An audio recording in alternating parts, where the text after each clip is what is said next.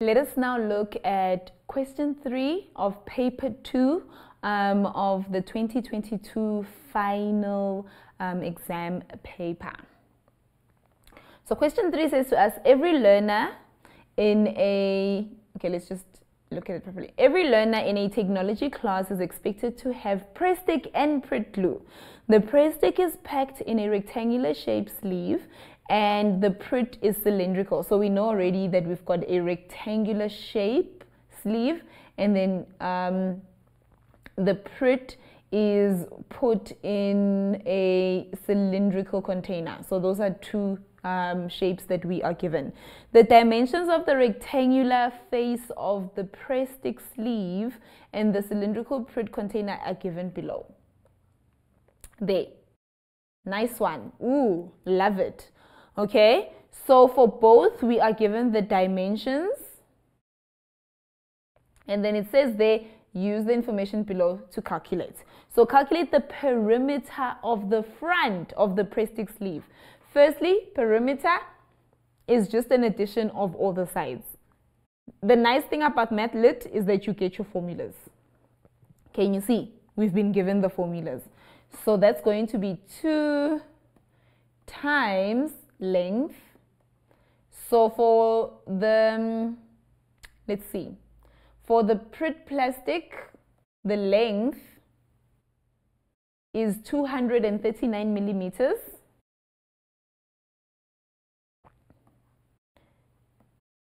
And then we know that the breadth or the width, because remember breadth and width um, is exactly the same thing. Okay, the breadth or the width um, is 89.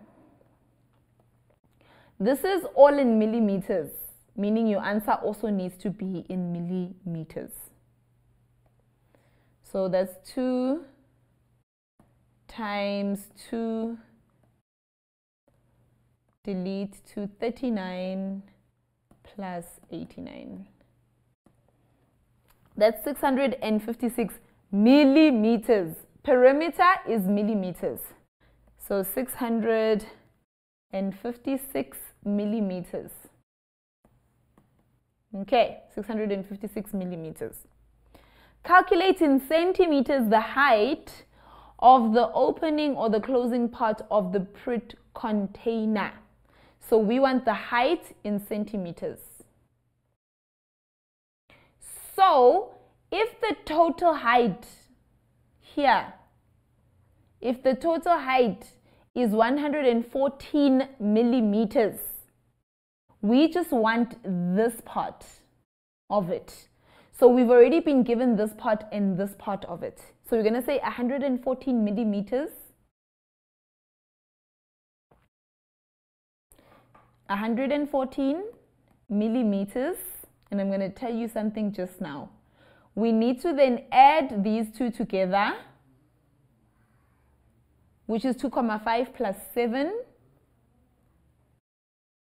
2,5 centimeters plus 7 centimeters before I can do anything before I can do anything I cannot work with millimeters and centimeters in the same breath. Okay, so I need, I cannot work with millimeters and centimeters in the same breath, so I need to do my conversions. So if I do my conversions, I need to convert this to centimeters because my answer needs to be in centimeters. So there are 10 millimeters in a centimeter, so it's going to be 11,4. You see, so it's going to be 11,4 centimeters minus 2 comma 5 plus 7. You cannot work with centimeters and millimeters in the same breath. Very dangerous to do that. Okay. So that gives you 1,9 centimeters, meaning that that lid is 1,9 centimeters high, okay? The actual height of the glue in the Pritt container is 8,5 centimeters. So if they're saying actual height, they mean in real life. And the volume of the glue to three decimal places is 52,346 centimeters cubed. Show how the volume of the glue was calculated if the diameter of the glue is 28 millimeters.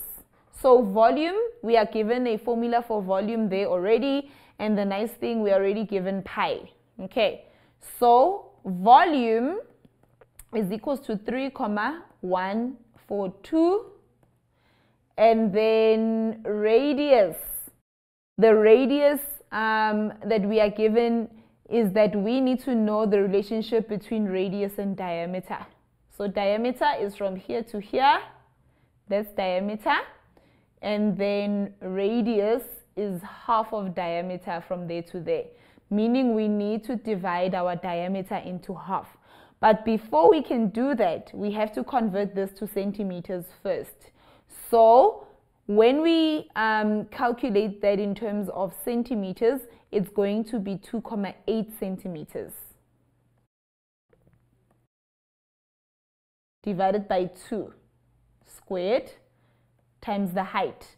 Has the height been given? The height has been given as 8 comma 5.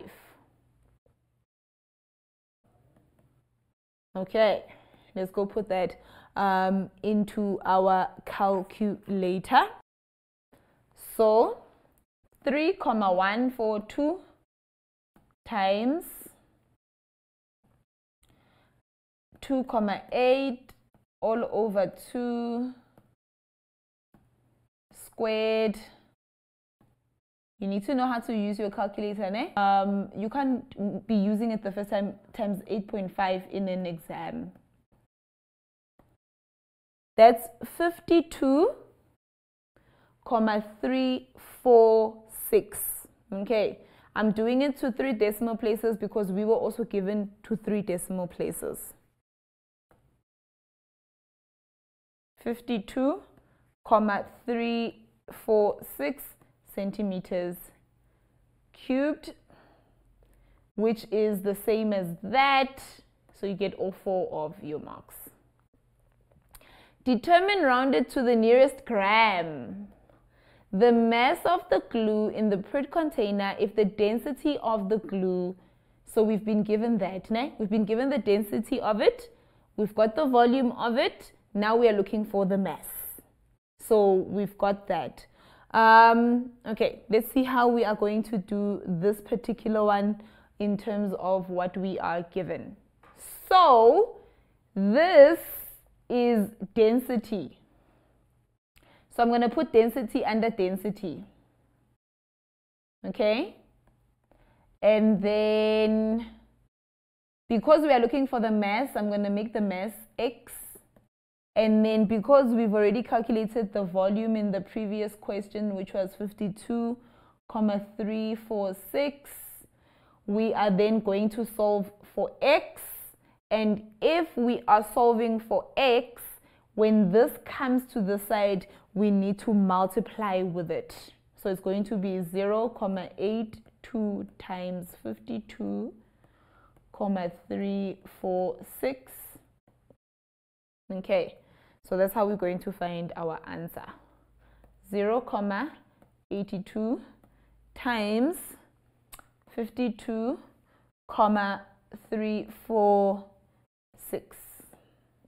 So that is 42. Let's write the full number, please. The full number first. The reason why you write the full number first is that just in case you round it off incorrectly, um, you still get a mark for something. So don't just rush um, to write your rounded off answer. Okay. So if I'm rounding it off to a whole number, because when I go and I buy glue, they don't say to me at the shop, this glue is 42,9 grams.